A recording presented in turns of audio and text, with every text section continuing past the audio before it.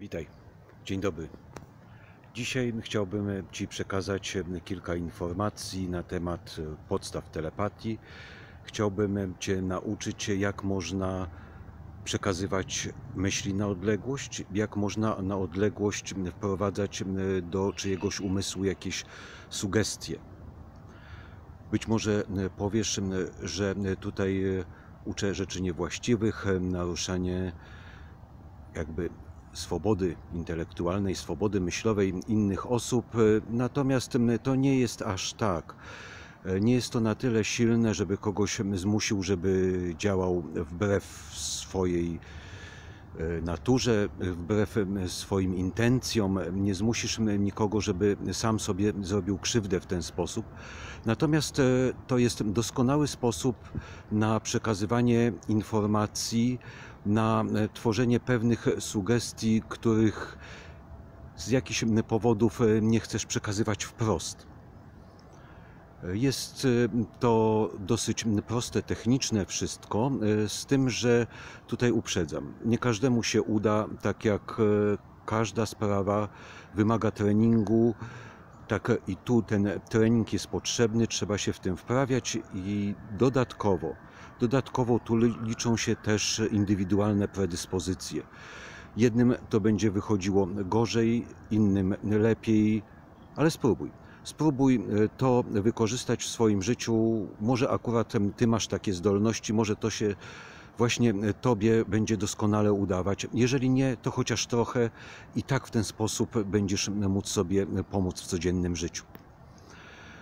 Będzie e, się to składało z dwóch części. Pierwsza część to jest przekazy niewerbalne dla osoby, która znajduje się w Twoim towarzystwie. Druga część to przekaz dla osoby, która jest daleko od ciebie i tutaj ta odległość nie ma też większego znaczenia.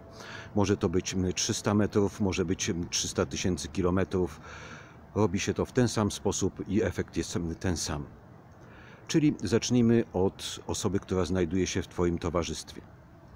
Często bywa tak, że chcesz coś pewnej osobie, z którą akurat rozmawiasz, zasugerować, chcesz jakoś wpłynąć na nią, natomiast nie bardzo możesz to powiedzieć, może nie wypada, może z jakichś innych względów tego unikasz. Możesz niewerbalnie, telepatycznie jakąś myśl czy sugestię tej osobie przekazać. Jak to zrobić? Już Ci mówię. Zacznij obserwować oddech tej osoby. Jak zwykle oddech jeden z moich koników e, obserwujesz rytm oddychania tej osoby, która z Tobą rozmawia, czy znajduje się w Twoim towarzystwie. Staraj się oddychać w tym samym rytmie. Idealnie w tym samym rytmie oddychasz co ta osoba, patrzysz jej prosto w twarz, jeżeli rozmawiacie, to nie ma problemu. I cóż, kiedy już te oddechy się dostroją, spróbuj delikatnie zmienić rytm swojego oddechu o troszeczkę. Jeżeli zauważasz, że rytm oddechu tej osoby również się zmienia, to znaczy, że tak, właśnie złapaliście kontakt, właśnie złapaliście wspólne wibracje. I wtedy swoją myśl bez słów wypowiedz, patrząc w taki punkt, który się określa trzecim okiem, pomiędzy e, brwiami, troszeczkę wyżej na czole. Może to być myśl zwykła, prozaiczna, powiedzmy, chodźmy na papierosa. Wiem, palenie jest złe, niedobre i to prawda, nie należy palić papierosów, ale jeżeli akurat tak się składa, że ty i ta osoba w ten nauk popadliście, to możesz zasugerować, chodźmy na papierosa. Powtórz to kilka razy i myślę, że minie nie dłużej niż 2-3 minuty, kiedy ta osoba sama ci zaproponuje to wyjście na papierosa.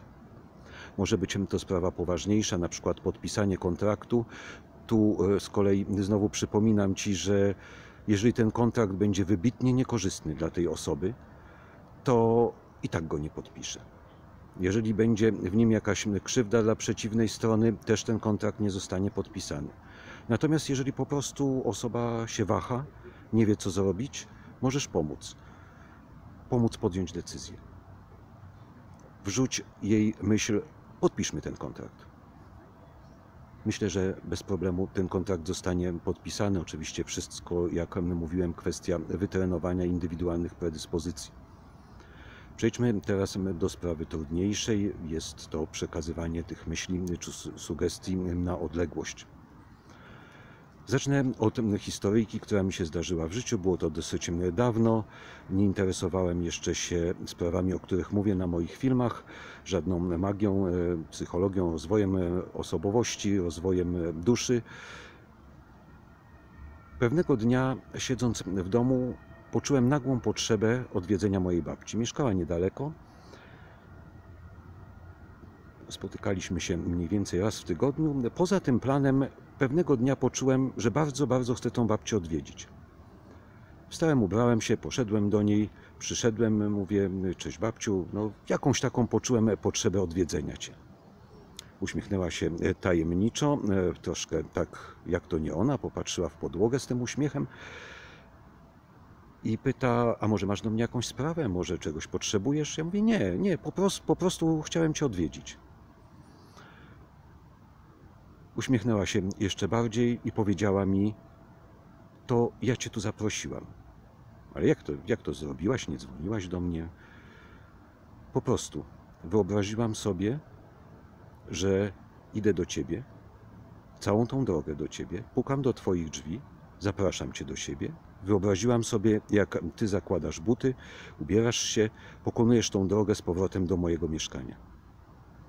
Ja tutaj zaproponuję Ci metodę trochę doskonalszą, ale jak widać, nawet w ten prosty sposób to wszystko działa. Metoda troszkę bardziej skomplikowana, trochę bardziej dopracowana. Jak przekazywać myśli, sugestie na odległość. Więc najpierw musisz się do tego przygotować. Usiądź w wygodnej pozycji, najlepiej e, twarzą do słońca. To słońce nie musi być widoczne, po prostu dobrze by było e, wiedzieć, gdzie ono jest, twarzą do słońca rozluźnij się, wykonaj 12 oddechów mistrzowskich. Dla tych, którzy nie oglądali e, moich filmów, po jego filmu o magicznym oddychaniu, przypominam, że oddech mistrzowski to jest 7 sekund wdech, sekunda przerwy, 7 sekund wydech, znowu e, sekunda przerwy. Wykonaj to 12 razy. Następnie staraj się wyobrazić sobie tą osobę, której chcesz jakąś wiadomość czy myśl przekazać. Jeżeli masz jakiś przedmiot należący do tej osoby, dobrze jest go trzymać w ręku, czy nawet patrzeć na niego. Staraj, sobie, staraj się sobie jak najdokładniej tą osobę wyobrazić. Po pewnym czasie poczujesz jakby jej obecność energetyczną, zobaczysz w pewnym sensie jej obraz energetyczny. Nie tak jak na zdjęciu, po prostu taki jakiś zamglony energetyczny obraz tej osoby. Poczujesz łączność. Wtedy przekaż informacji. Możesz zacząć ćwiczenia od spraw prostych, na przykład nie wiem, zadzwoń do mnie, napisz do mnie SMS-a. Po kilkuminutowym powtarzaniu z tej zadumy, z tego skupienia wyrwie cię prawdopodobnie SMS albo dzwonek telefonu. Możesz też ten sposób okazywać troskę. Wiesz, że jest zimno, możesz przekazać tej osobie po prostu myśl: załóż dzisiaj ciepłą czapkę. Wypróbuj to, zobaczysz, że to działa.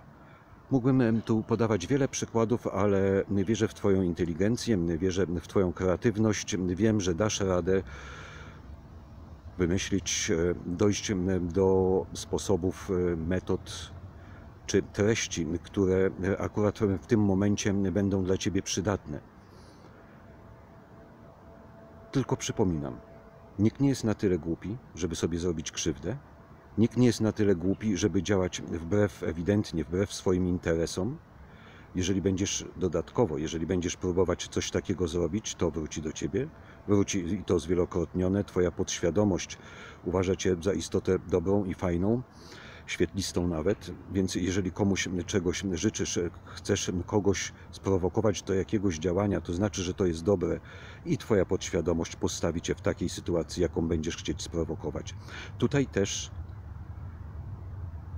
taka mała dygresja, jeżeli chcesz komuś pomóc, jeżeli chcesz kogoś uzdrowić w ten sposób, jeżeli okazujesz troskę, to również do ciebie wróci i również zwielokrotniony.